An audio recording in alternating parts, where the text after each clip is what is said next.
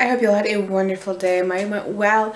I did go back to Costco today um, to get a swimsuit and we had to get some water, like bottled water, some vinegar and stuff. Um, I did not vlog there. I am sorry about that.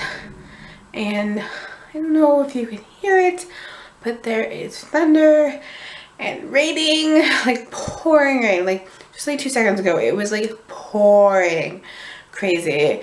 There's lightning and all that fun stuff. Um, it's March, well no, it's not March 1st. It's February 28th. Yeah, 28th. Um, it, it's crazy. Like what's happening? This is not springtime yet. It's still, still technically winter. What's going on here? But um, yeah, I'm gonna go edit you guys before it gets any worse out. I know.